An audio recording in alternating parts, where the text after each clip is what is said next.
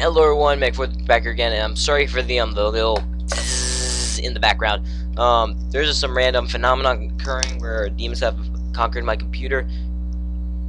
Sorry, I thought the wavelength went down for a second, and uh, they decided to make a random quirk in my uh, headset. So I just wanted to make a little message out there uh, for those of you who are wondering what is. Uh, hold on, my computer's going. Oh. Huh. Never mind. Okay, well, either way. Sorry, the audio is just weird today. Um, so, the thing that happened with, yes, just, just, just keep, keep going, computer, anytime you want. Okay, uh, sorry about that. Um, so yeah, a thing came up, uh, I was trying to politely convince Jared to not be a bitch and play zombies. But what happened was, this happened.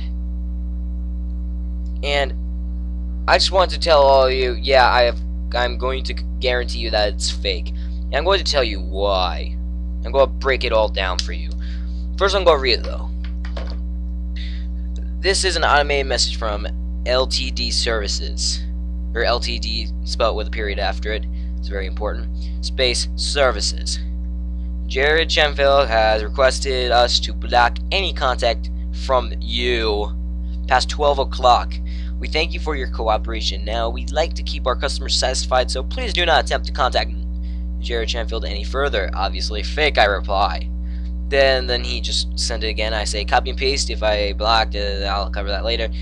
Um, please note that it says gelesen. I know probably none of you speak German, but if you do, that means red, as you know. Those you don't know, then screw you. Uh, then after I reply again, it says, as we see, you continue to interrupt our customer. As requested, you will now be blocked by LTD services until we are told otherwise. Thank you for your compliance. And I said no, and I just go off and say some stuff, um, which I'll explain right now. Now, first, breakdown.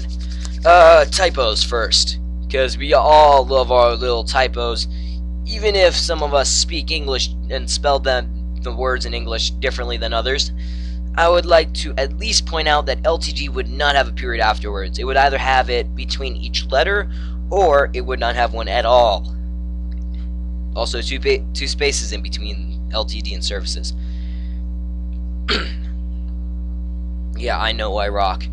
Um, let's see what else. And it says um, Jared's specific name. Um, he's the not. Um, he's. I can guarantee you he's not the current holder of his um service. So either it would protect his identity using like just the number, or it would just like even if there, this were a thing, it would protect the identity, of course, or it would use the actual holder of the uh, accounts which it nine times out of ten would not do. Um, request us to block contact past 12 o'clock. 12 o'clock will be written out, and there's two spaces between past and 12. yes, I can. Uh, it's so obvious that there's two spaces between that. Um, I'm going to assume that he had this in a notepad before that, um, and then just copied it from that, replaced some stuff. No, he actually didn't. He just used pronouns. Yay. It would, um, also, would confirm the number by saying instead of you, it would probably put my number in there. And I just reply, obviously, fake. Let's see here. And then, um, sends it again. If, um, and then he goes to the next message. This would either hap occur, like that first warning message, that would either occur once, or not, um, not at all, or three times. So, yeah, just if you're gonna fake this, fake it correctly, and don't do it to a tech geek. Please don't. And then this part um was actually there was a very long pause. It was about 37 seconds between the the me sending the message and then um this thing.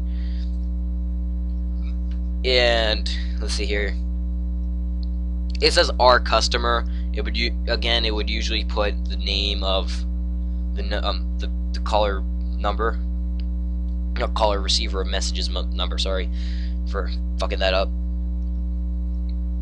Until we are told otherwise, thank you for your compliance. First off, I was not complying.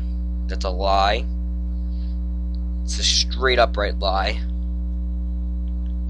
Oh yeah, and also I forgot to mention, um, it says we like to keep our customers satisfied. Now would have a comma after it, or it wouldn't be there at all. Actually, it shouldn't really be there. It's not grammatically correct. Um, so please do not attempt to contact this person any further. That is a dead giveaway to me.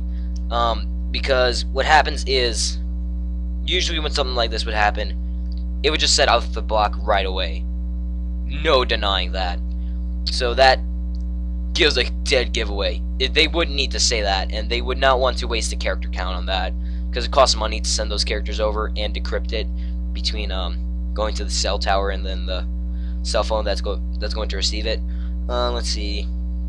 It says until told otherwise, which contradicts its previous statement um, of just past 12 o'clock, and it doesn't give me like it would usually put 12 to sometime. Let's just say, for example, 6 a.m. And also, since it says 12 o'clock, it doesn't specify midnight or noon. Unless if it's using military time, which it's incorrect. Then, uh, let's see here. Uh, service until we are told otherwise. Yeah, until we are told otherwise, it's an automation. And also, I'm pretty sure that I was speaking to him via text earlier on, past midnight, which makes this very, very dead giveaway that it wouldn't take, like, bam. It wouldn't have a file, everything, so that it blocked my thing past 12 o'clock. So, yeah. Uh, can't really give Jared any credit for this. At all. Because it's absolutely shitty the way he did it. Um... And I continue to do things. The one thing that I can give him credit for is the stubbornness of not clicking on my thing because I ended up spamming him a lot.